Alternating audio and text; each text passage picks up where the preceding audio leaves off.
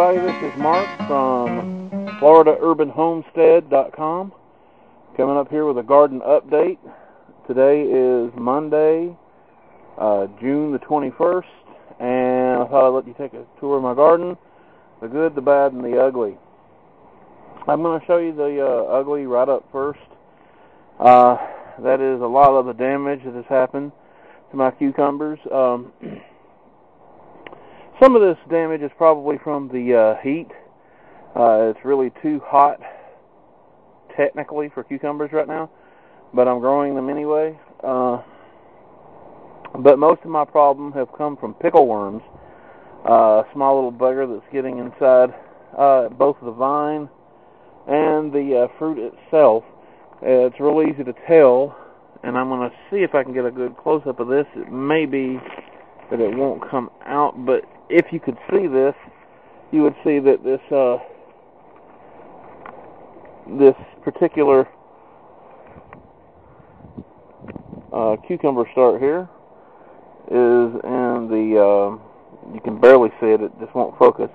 But it has a small worm in it, and that small worm is a pickle worm, and he can get in both the vine and he can get inside the uh, cucumber itself.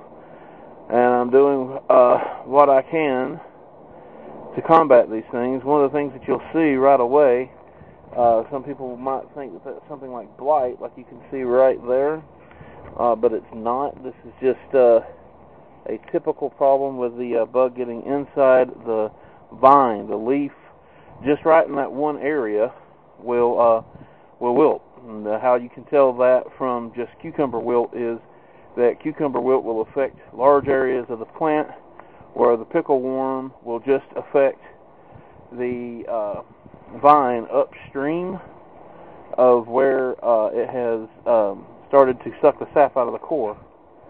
But that's just one problem, and there's lots of other things. I just I did get some good cucumbers today, along with some onion and um, uh, a tomato. Uh, so it's doing good. And down here you can see I still have peppers, and the peppers are doing well. Uh, some of these tomatoes are turning red as we speak, and I've built these nice cages for these uh, tomato plants here. These are beefsteak. These are uh, real nice ones. And the lemon cucumber, although I think it, I may need to put some copper spray on it because it looks like it's uh, maybe getting a little bit of fungus down there. But other than that, it's doing real well and hasn't been affected so far by these worms. Uh, down through here, I have the uh, husky cherry tomatoes that I've been eating on. Uh, haven't had too many problems with the tomatoes anymore. Had hornworms in the beginning, but uh, organic uh, spray, uh, insecticidal soap has pretty much brought that under control. This is the site of a uh, new up and coming bed, and across from it you'll see um, some more of these. These are nice beefsteak tomatoes. And I might have here, just to show you, that even when you're using something like that, this is one that has been affected almost certainly by a hornworm. And if I open it up, we will probably find them inside. But it is the direct evidence that there has been a uh, creature in here like that. And so basically, um, and there he is. So basically, we just uh, we want to get rid of him and uh, squash him out of existence. We don't want him to further uh, affect any other of our plants. Uh, for hornworms, insecticidal soap, for the most part, is most effective when you spray the plant directly, and so you have to kind of catch him I haven't been in the garden for a couple of days, and that's when a hornworm can really set in. Uh, but not to fear, we'll have more tomatoes than we will uh, have lost.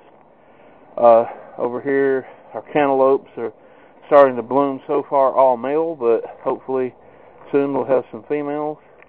Over here we have some more tomatoes that are starting to ripen up. That is a variety called Homestead. It gets red uh, over here I have a tower garden. I don't know if you'll be able to really see it too well, but there is indeed a sweet potato coming up. And this is my watermelon. crimson um, giant. And uh, over here in front of it, you will see that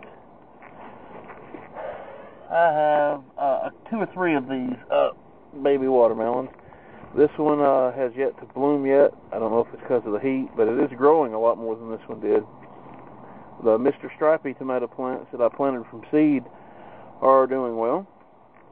And over here, my peppers and my sweet basil are doing good. I have a few uh, passion fruit that are trying to volunteer in here. Uh, I don't know if I want them in this part of the garden though. Uh, over here we have uh, bell pepper uh, and more onions, just like I've been picking, and some nice uh, um, Beefmaster tomatoes. These are really good. This is something that's uh, pretty new. It's my uh, bean garden that I put up here up to the fence. Simply put in some 2x4s with some stakes to hold them up. And basically have my beans just running along the length. I have some cowpeas, purple uh, purple hull. I also have uh, bush uh, bean 274 from Burpee. Those are both some nice beans that I hope to be getting.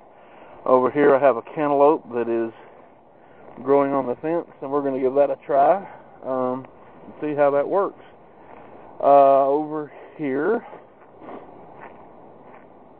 we have some, uh, this is a mix, this is a multicolored mix, so I don't know which uh, three tomato plants I have in here. But it would be really great if I had some purples and chocolates in there. It'd be great. And I have it uh, ready to be caged too. These are more beans. Uh, these are Blue Lake beans. And then over in the back, it's just sprouting. Uh, doesn't look really all that interesting, but it's corn. Uh, it's just a normal sweet corn. Uh, that's pretty much an update of what I have in my garden. Uh, I really appreciate you guys coming by and checking it out. I'd also really appreciate if you would uh, click and subscribe. I really need some more subscribers, and that would be great too. So, uh, happy gardening to everyone, and y'all have a great day.